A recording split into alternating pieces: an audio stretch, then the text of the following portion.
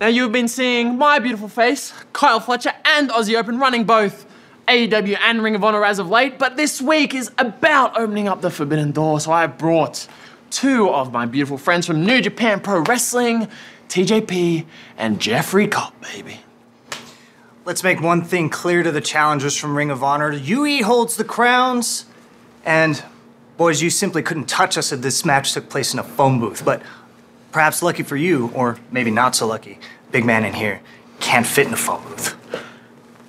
Well, to be honest, it doesn't really matter what pairing of the United Empire it is. It doesn't matter what company it is, whether it be Ring of Honor, AEW, New Japan, all pandas having fun.